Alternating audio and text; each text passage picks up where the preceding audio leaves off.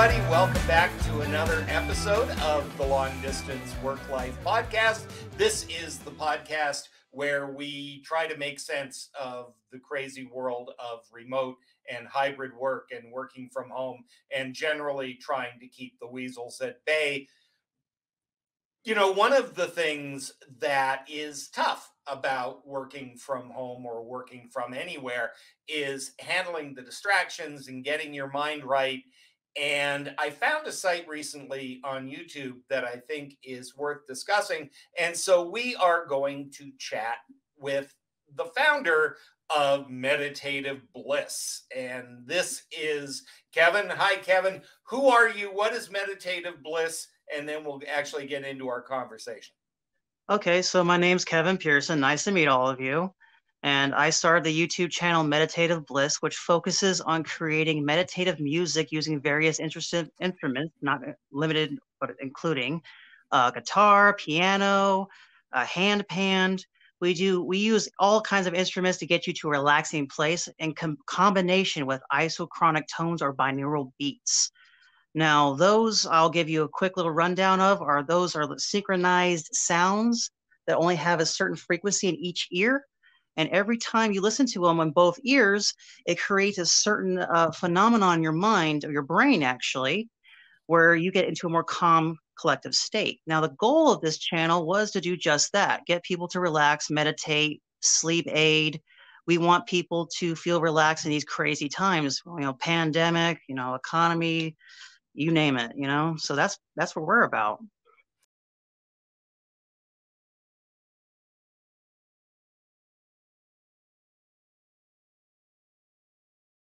So, Kevin, I mean, you've worked from home, I work from home. What are the types of things that stress us out that we need to get under control? Stress comes from several factors. One, your boss wants you to meet your deadlines. And when you keep pushing and pushing and pushing and don't give yourself a break, you're going to burn out. So, how do you avoid this? Is you need to find a balance. Unfortunately, uh, a lot of companies these days are more about productivity, getting things done, but there is that 15 minute break. And what I used to do when I was working for particular companies, I used to take five minutes, just five minutes out of my time to breathe deeply three times and just focus and be in the present moment. That's how I dealt with it. And It gave me a quick recharge. Now, your mileage may vary. But um, as far as what stresses people out, that is very loaded. A lot of people are most likely just very, very focused. They, they, they, they, they don't give themselves any time to breathe. They're hyper focused. There's no time to do anything else but get the job done. Now, it depends also about what you do. If you're a call center, you're going to be back to back calls. That's not going to stop. So what I used to do when I was on back-to-back calls, I would stay. I would make sure. I'm sure that you know this too, but there's a thing, a program called the Finesse program, where people who work from home, and particularly call centers, have to uh, wrap up the call in a certain amount of time. Now, that's just one example of how you are constantly being overloaded for four hours until you're. Well, I say it's first two hours and thirty minutes until you get your break. But then when people take take their break, they're doing stuff that's not actually relaxing them. And that causes more stress. They're probably thinking about their personal life while also, also simultaneously taking care of their job. And as time has gone on, that productivity requirements has gone up. So my advice in order to try to get the stress down would be to try to be more calm about it. Just collect your thoughts, try to calm down, and don't take it too seriously because you do not want to stress yourself out to the point where you have a health issue. I did this to myself. One time I was on an IT call. I won't, and again, I won't say, you know, who that was, but it took so long and it was so complicated. And I was so fixated on trying to fix the problem, I ended up almost making myself pass out. so it's very important that you keep your, uh, how should I say, your Zen and focus. You need to be oh. centered. Do not get too enthralled in what you're doing. Do the now, best. There, there's a couple of things here that I think we need to kind of be clear about. Uh, hmm. One is that you know nothing stresses us out more like for the love of God, stop stressing. Yeah. I mean, it, it becomes this kind of self fulfilling nightmare. Um, but the other thing is that when you say meditation and Zen and all of these things, there is kind of some initial skepticism from a great number of people. And I try not to be one of them because I understand the kind of academically how meditation works. My little ADD squirrel infested brain doesn't always allow me to do the things I should do. So let's take a step back. What does, I mean, what does meditation do and what is it and what isn't it? Ah, I could definitely clarify. Okay, so meditation in itself, as we all have come to know it, is putting the body to stillness, putting the mind to stillness, and simply focusing on the breath. What this does to the body and the mind is it puts it into a calm state where your muscles loosen up, your mind is not tense, your thoughts begin to slow, and breathing becomes easy, easier. Everything actually becomes easier. I mean, yeah. So it's a physical thing. It's a physical and mental thing. It's not necessarily tied to philosophy or anything else, right? There is. Oh no, no, no. It's this. Even science has taken a hard look at this, and they have reported that as the conscious mind begins to relax, so does the body and the mind. Um, what do I mean by that? Well, your subconscious is constantly doing tasks in the background, just like a computer. You're and while you're focusing on your, you know, your frontal lobe, your conscious day, day-to-day tasks, that makes it more difficult. Believe it or not, your brain is doing a lot at all times, even when at that rest, even when it's sleeping. So the whole point of meditation is to mitigate the risk of stress and its negative effects on the body and the mind. So by putting yourself in the present moment and focusing on the breath, you're actually partaking and letting your body take, up, take upon itself true rest. Now, I was skeptical about it first myself. I thought it was a bunch of woo. you know, when I was younger, I was, I would say about 13, 14 years old. I gave it a shot. I tried it.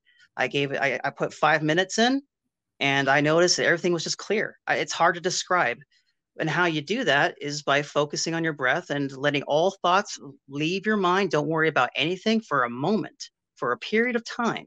You are to let everything go. And then when you come back, you're refreshed.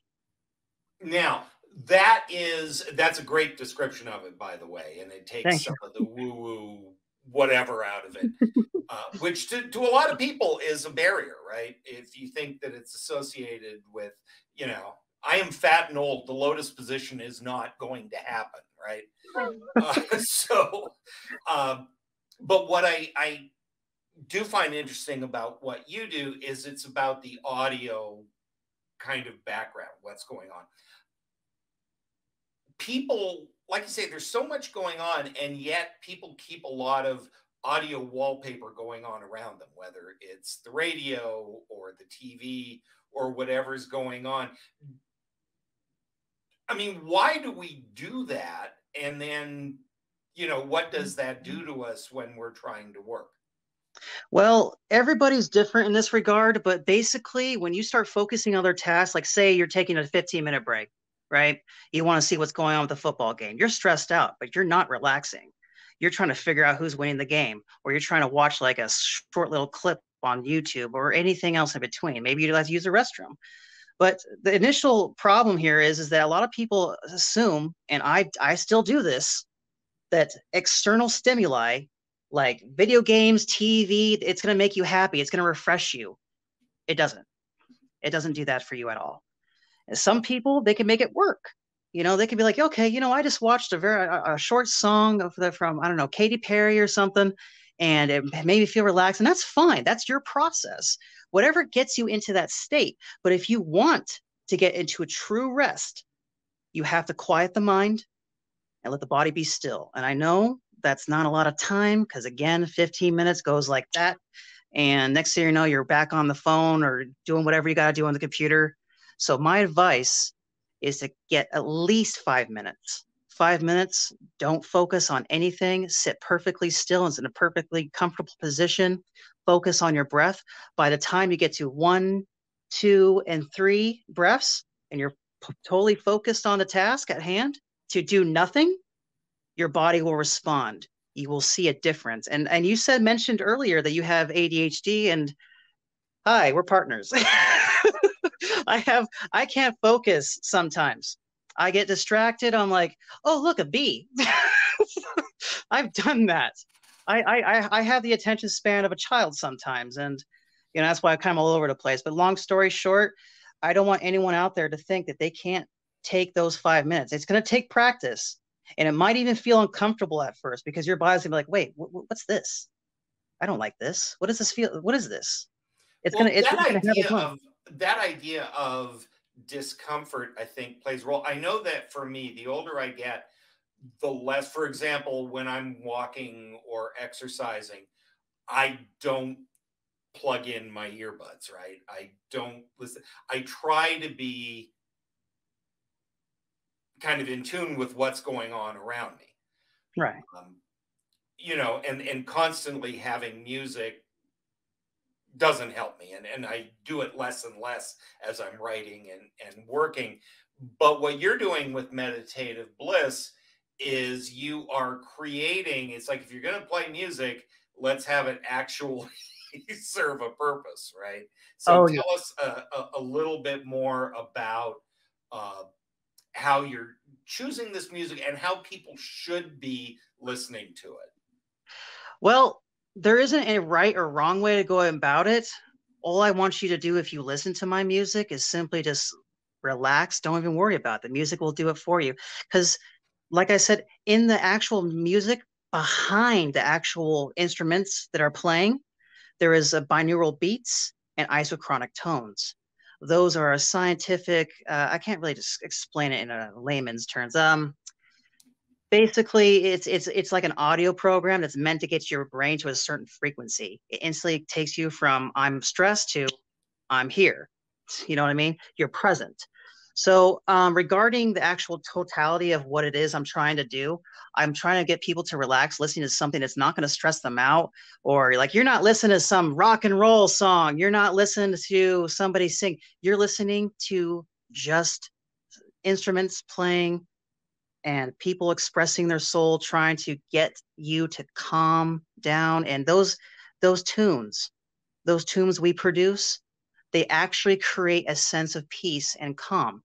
And that's what our ultimate mission is. So when you listen to uh, the, those that type of music and i'm not the only one who does this there's plenty more. In fact i'm actually kind of you know i would say late to the game almost. I just decided i wanted to start doing something i love so I started teaming up with certain individuals and we started collaborating, making music that just takes you to a peaceful place. Think of your favorite movie, all right, where there's a scene where it's perfectly calm, you see, and you and you, and you hear the the music in the background. That's basically the same concept, except you're going to be in your head. You're going to just be relaxing. You're going to be like this. You're going to either be meditating and focusing on your breath, or you're going to be actually just laying down, or maybe you want to keep doing your work some people we have audio that increases concentration without actually increasing stress. So by keeping your mind distracted by these sounds, you can actually increase productivity and rest. I don't know if I kind of bounced around on your question there for a second. You know? No, I, I think I, I think that makes sense. I mean, you know, like you say, a lot of times we do things in the name of relaxation or probably more likely distraction from what we're doing that actually you know the brain is continuing to work really hard. And what we're trying to do is just bring it down. And that of course helps productivity. If someone is thinking of about using tools like yours. And as you say, there are no shortage of places on YouTube or wherever that you can find this stuff, whether it's guided meditation or or just the ambient music. How do they start? Because it, especially, you know, people in the Western tradition kind of think that there's all this stuff associated with meditation and mindfulness that I have I have that. Oh, sorry. um, I have heard about that. I haven't experienced it directly, but I have heard people think the meditation is a path somewhere dark, and that's it's it's not true. It's all it really is is a tool to get you to relax. I mean, as far as I am concerned, meditation was introduced to us even before Buddha, perhaps.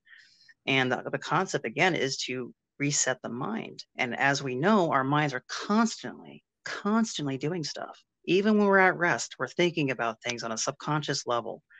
And that puts stress on the body and the mind.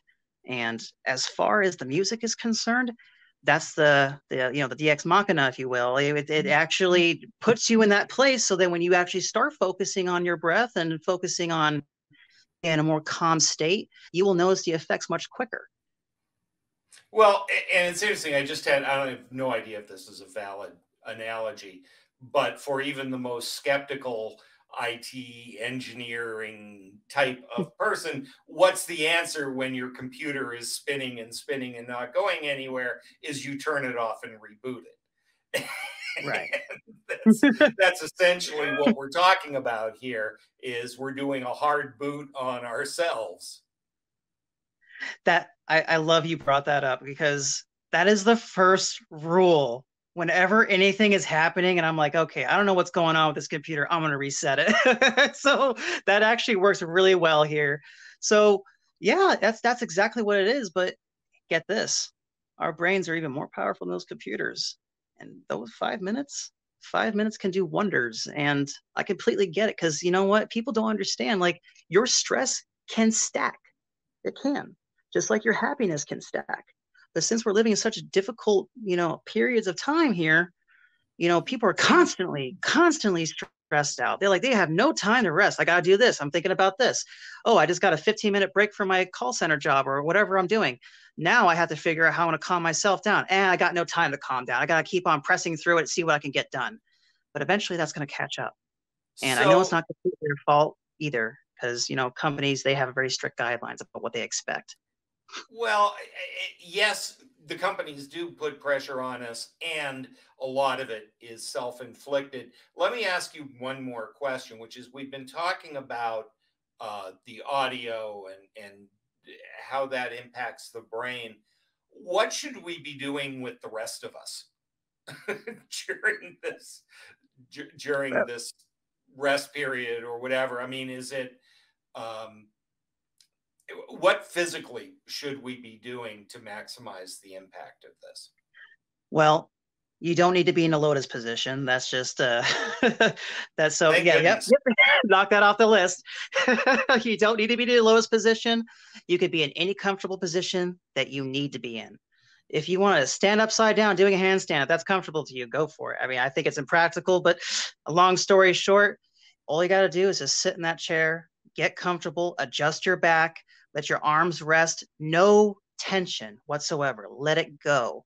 Just keep focusing on letting go of that tension, no matter how much it says, you know, your mind tells you, like, we got to tense up because I got to do this. Never listen to it. Okay. And, and that, that moment of time you're giving yourself, whether it's five minutes, 15 minutes, or even an hour, whatever it is that, for your practice, if you give your, your body the opportunity to sit still and listen to this music, not just mine. Any if we could, there's plenty of other good music out there too besides meditative bliss. Not trying to not promote myself here, you know. But long story short, if you give your body the opportunity to sit still, even for five minutes, and focus on your breath while listening to this music, or even put the music on a low volume while you work, it'll keep you in a you know a straight line. Because when your brain's going doing stuff, it's all over the place. It's it's it's bouncing all over the place. So what you want to do is you want to be centered and you'll notice when it happens too. As for those who have trouble with this, um, being the fact that I struggle with this as myself, I would suggest you just keep trying until it becomes natural. This is unfortunately for some people going to be a practice makes per- perfect kind of deal. However, it's something you should definitely look into. It will well, do wonders. There's certainly a reason they call meditation a practice, right? Yeah. Uh, Kevin, thank you so much, man. I, I, really appreciate it. I think that we get caught up in the day to day of which technology we should be using and, you know, how do we become more productive and how do I squeeze out the last ounce of my brain into my work. And something as, and I use the word simple, simple is not always easy but something as simple as this as a way of getting some of that energy and focus back i think is is important for people to consider. So thank you very much. Uh, ladies and gentlemen as you know if you've been listening to the show for a while if you go to longdistanceworklife.com you will find links to meditative bliss and kevin's socials and all of that good stuff. Uh, please, you know the drill. You listen to podcasts, like, subscribe, tell your friends. If you are listening to Meditative Bliss, like, subscribe, and tell your friends. That's how this crazy ecosystem works.